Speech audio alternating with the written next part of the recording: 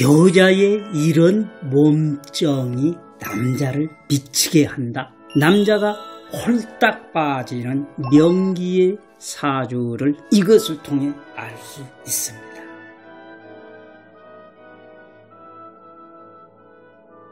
여러분들 안녕하세요. 경기도 성남 보은 철학원장 역술가 보은입니다. 오늘은 남자를 미치게 하는 몸정과 남자를 홀딱 빠지게 하는 여자의 명기에 대해서 알아보도록 하겠습니다. 궁금하신 분들은 끝까지 채널 고정해 주시고 시청해 주시길 바랍니다. 본 영상에 앞서 구독, 좋아요 한 번씩 눌러주시고 복 많이 많이 받으시길 바랍니다. 흔히 몸정은 여자만 든다고 생각을 하시는데요. 남자도 몸정이 제대로 생기면 그 여자 없이 못 살게 됩니다. 그래서 홧김에 바람을 피웠다가 몸정이 들어서 헤어지지 못하기도 하지요. 남자가 여자의 몸에 푹 빠지면요. 일단 지치지 않습니다. 이전에는 일주일에 한 번 할까 말까였는데 환상적인 잠자리를 보내고 나면 여자에게 눈이 멀어서 10대 청소년으로 해춘을 합니다. 3일에 한 번이 아니라 하루에 한 번까지도 마다하지 않습니다. 또 남자도 이제까지는 느껴본 적 없던 절정을 느낍니다. 평생 살면서 잠자리를 만 번 갔더라도 그 중에서 1위, 2위, 3위는 따로 있는데요. 정말 남자가 제대로 절정을 느낀다면 마치 온몸이 빨려 들어가면서 몸이 녹아버리는 것 같은 착각이 듭니다. 남자에게도 평생을 잊을 수 없는 잠자리, 즉 속궁합이 따로 있다는 것이지요. 마지막으로 남자가 여자에게 몸정이 들면요. 당연히 여자에게 잘하게 됩니다.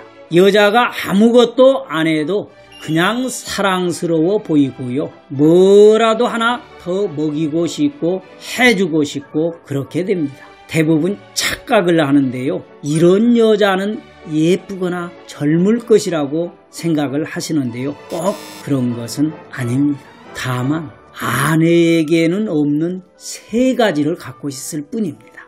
그 첫 번째는 개방적인 성격입니다. 해프다는 것은 아니고요. 가끔 남편이 이것저것 시도해 보기도 하잖아요. 침대가 아닌 다른 장소에서 사랑을 나눈다던가 색다른 분위기를 연출하려고 아내를 꼬시는 경우가 있는데요. 아내들은 남사스럽기도 하고 어색하기도 해서 대부분 거절합니다. 심한 경우에는 남편을 변태 취급 하는 분들도 계신데요. 이 스타킹을 신어달라고 했다가 자기를 벌레 보듯 했다고 말하는 남편분도 있었습니다.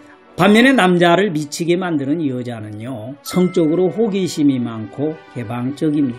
스타킹도 신어보고 잠옷도 바꿔보기도 하는 것이지요. 한마디로 남자의 성적 판타지를 충족시켜 주는 겁니다. 남자로서는 거절당해서 자존심이 상할 일도 없고 하고 싶은 것을 함께 즐길 수 있으니 더할 나위 없이 좋을 수밖에 없지요. 두 번째는 적극성입니다. 대부분 한국 여성은 잠자리에 소극적인 편인데요. 잘못된 성관념 때문에 내가 원하는 자세가 있어도 선뜻 말하지 못할 수밖에 없습니다. 하지만요, 남녀를 떠나서 인간만큼 밤일을 좋아하는 동물이 없습니다. 인간만이 놀이로서 밤일을 하게 되는데요. 속된 말로 요구는 다른 여성들과는 달리 적극적으로 움직이니까 남자들이 홀리고 맙니다. 이렇게 하고 싶다, 저렇게 하고 싶다, 먼저 말을 해주는데요. 이것은 세 번째의 특징과도 연결됩니다.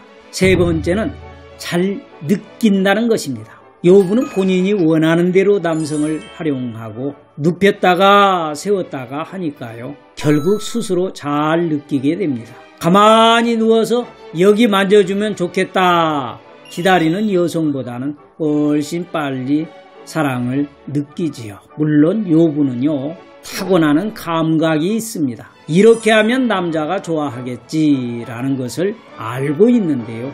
특 특출난 기술은 아니고요. 여러분도 오늘 밤부터 당장에 써먹을 수 있는 것들이 있습니다. 예를 들면 남자가 움직이고 있을 때에 여자가 자기의 가슴을 만지거나 이불을 쥐고 끌어당기면서 금방이라도 절정에 이를 것 같은 표정을 짓거나 잠깐 쉬는 순간에도 머리를 묶거나 이런 작은 행동들이 네가 최고다라고 말하는 것인데요.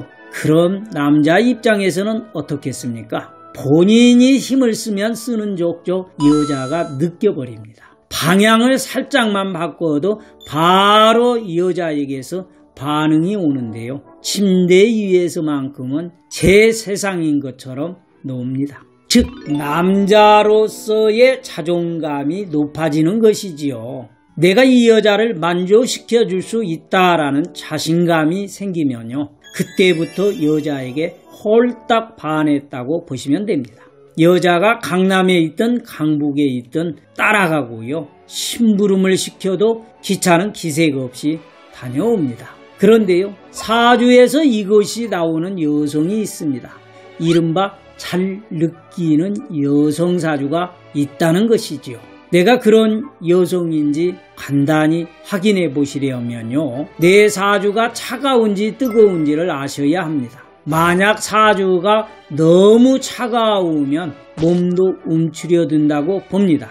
그래서 관계를 갖기 전에 준비 시간이 꽤 필요한데요. 요분은 만져주지 않아도 사랑수가 줄줄 나오는 반면에 사주가 추우면 10분은 애무해야 촉촉해지는 것입니다. 실제로 잠자리에 어려움이 있는 분들 중에는요, 오행이 치우쳐서 너무 차가운 사람들이 많습니다. 내 사주 조화가 깨졌을수록 결혼할 사람과의 속궁합이 중요합니다. 이 조화를 맞추지 못하면 나중에 바람이 날 가능성이 크다는 거거든요. 또한 기본적으로 오행 중에서 물의 기운이 있어야 합니다. 물은 말 그대로 물, 욕구와 번식을 의미하는데요. 만약 오행이 물이 너무 없으면 그것도 정말 메마르고요. 본인도 잠자리에 흥미를 느끼지 못하고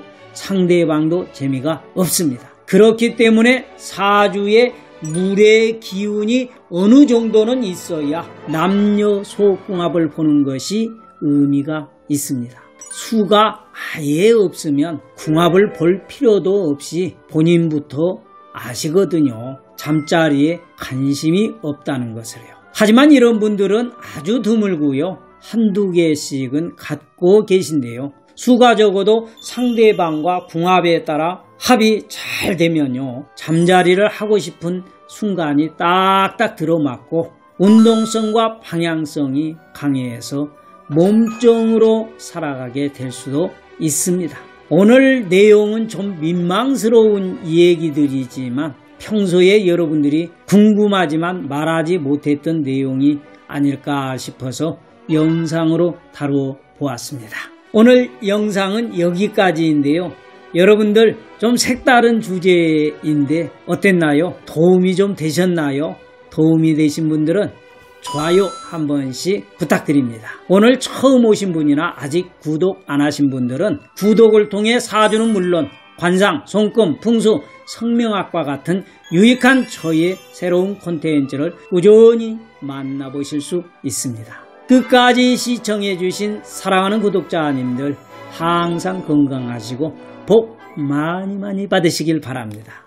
여러분들 감사합니다.